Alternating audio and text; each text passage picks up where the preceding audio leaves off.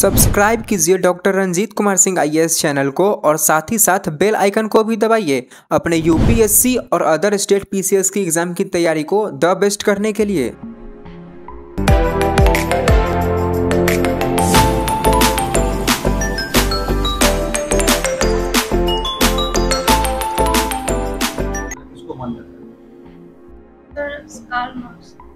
Bharat Indian India.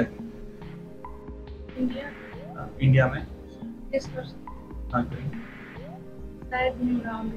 इसको बहुत गलत अच्छा ये बताइए कि आज मे डे है। राइट तो मे डे और लेबर डे या फिर मजदूर मूवमेंट का इससे क्या लेना देना है? क्यों आज मे डे मनाया जाता है? सर सबसे पहले इसको अमेरिका में मनाया गया था। 89 में मनाया गया था। तो इस दिन श्रमिक को अवकाश दिया जाता है। ताकि अपने फैमिली के साथ थोड़ा सा समय अपना व्यतीत कर सके। एक ही दिन? फैमिली के साथ नो सर ये स्पेशली मजदूर के लिए ही ये डे है।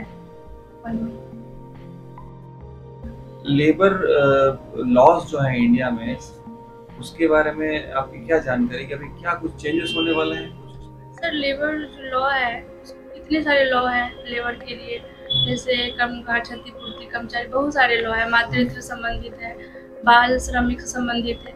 सभी को ना एक साथ करके उसमें बहुत सारे टर्म है और साथ ही सब में उम्र की थोड़ी सी ये है कि कभी कहीं बालक को चौदह बरस पे डिफाइन कर रहा है, कहीं पंद्रह बरस पे।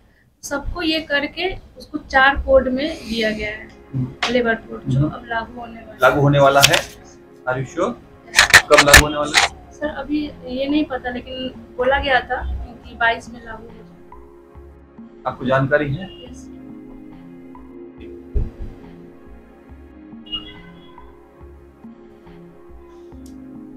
एक महिला के रूप में Yes.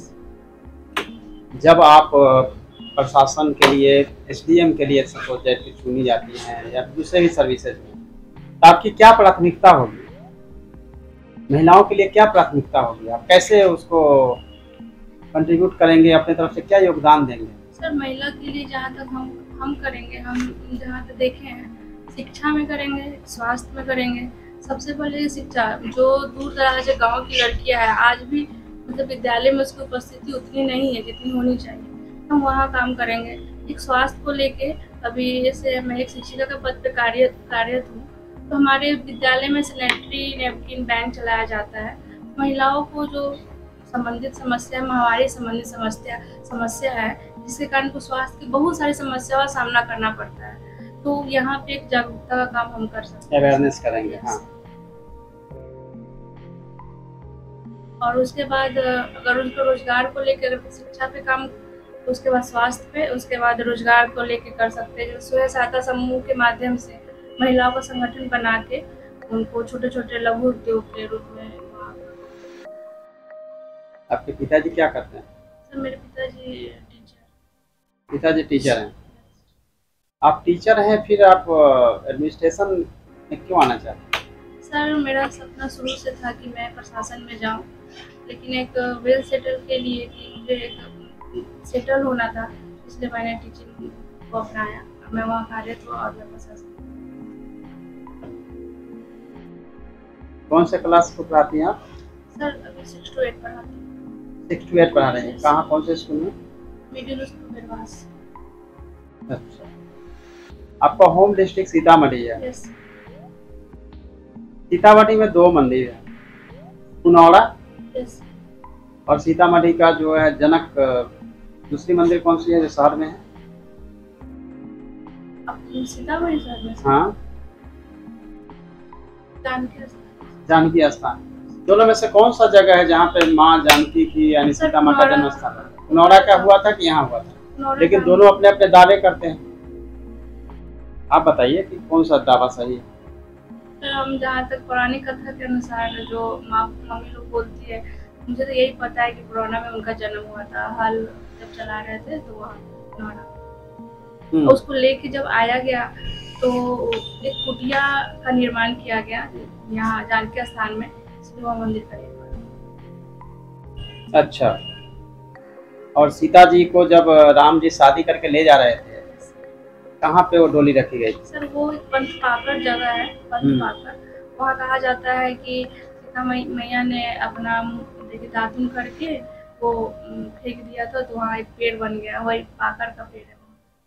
आप विश्वास करती हैं? सर ऐस- लोग तो करते हैं तो मैं भी। अच्छा लगता लोग करते हैं इसलिए भी करते हैं अच्छा लगता नो सर ऐसा साक्ष्य भी मिला है हलेश्वर स्थान का क्या मत? है हलेश्वर स्थान। नेपाल से सटा हुआ है सीतामढ़ी। टूरिज़्म के लिए क्या किया जा सकता है? टूरिज़्म के लिए पर्यटन के लिए क्या कर सकते हैं? पर्यटन के लिए सर हम जितने भी ये लिंक लाइन है ये जैसे पुनौरा धाम हुआ जानकर स्थान और जनकपुर है सबको एक मार्ग से अगर जोड़ते हैं तो पर्यटन के लिए ज़्यादा सही होगा। सहूलियत होगी उनको वहाँ यात्रा करने में। सीतामढ़ी की तीन समस्या बताइए। एक वहाँ साक्षरता कम है और स्वास्थ्य सेवा भी उतनी उपलब्ध नहीं है और अब बिहार की समस्या? सर बिहार की समस्या। जो बिहार की समस्या और सीतामढ़ी की समस्या है। साक्षरता दर बिहार की ऐसे हमारे सीतामढ़ी की फिफ्टी थ्री परसेंट है वहीं बिहार की साक्षरता दर सिक्सटी वन परसेंट अच्छा। सीतामढ़ी की स्थापना कब हुई थी? जिला नया के रूप में कब आया?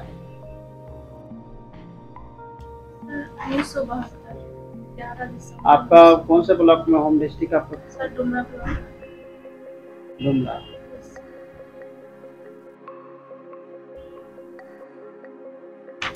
बहुत सारे जो है पी एल लिया है। ट्रेड यूनियन बने हैं। ट्रेड यूनियन का क्या, एक तरफ़ नेतागिरी चलती है, दूसरी तरफ़ जो है इंडस्ट्री चलती है, दोनों का एक साथ कैसे ये कोऑर्डिनेशन हो सकता है? सर, हो सकता है। जैसे ट्रेड यूनियन गठन इसीलिए किया जाता है कि श्रमिकों को शोषण से बचाने के लिए ट्रेड यूनियन गठन। अगर ट्रेड ट्रेड यूनियन के जो जो मेन है, अगर श्रमिकों की समस्या को अच्छे से सुनते हैं, समझते हैं एक दोनों के बीच विचार अच्छा होता है तब वो बहुत सही है। लेकिन अगर भारी गुटबाजी होती है तो फिर ये श्रमिकों के लिए हितकर नहीं है।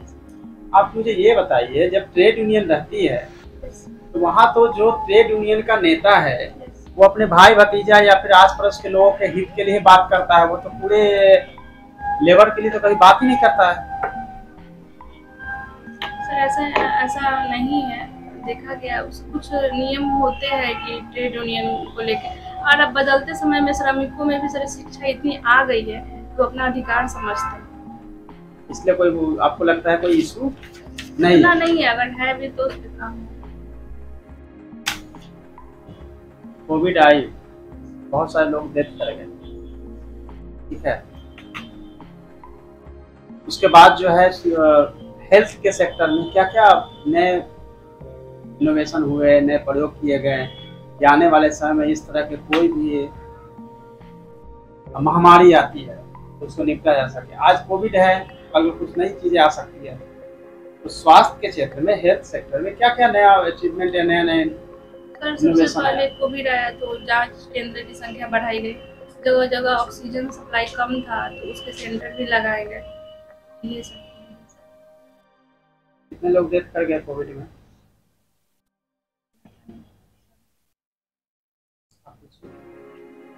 आपका मैथ्स में ग्रेजुएशन है Yes. Real number imaginary number और नेचुरल नंबर इनमें क्या फ़र्क?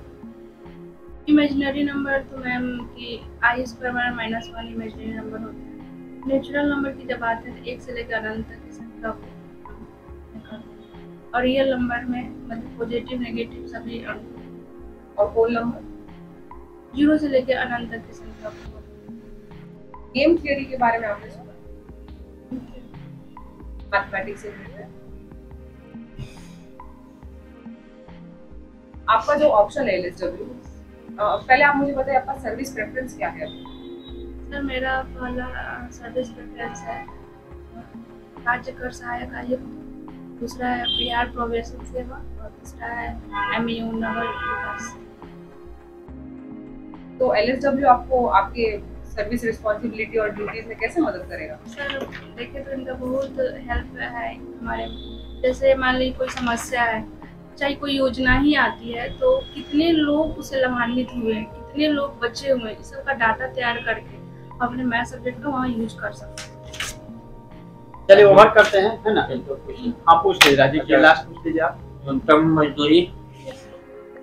अधिनियम कब आया न्यूनतम मजदूरी अधिनियम 94 अरे बिहार में न्यूनतम मजदूरी कितना है?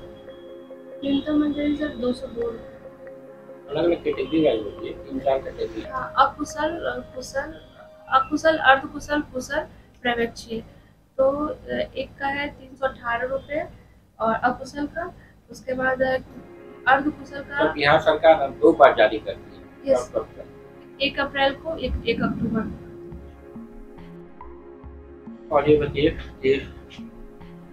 बिहार महिलाओं के लिए कौन कौन से अधिनियम बनाए गए? विधवा बनाया गया अधिनियम 1961 फिर से न्यूनतम मजदूरी का भी वो लोग फ़ायदा लेते हैं जो असंगठित क्षेत्र में काम करते हैं। मजदूरी भुगतान अधिनियम का भी उन लोग को है।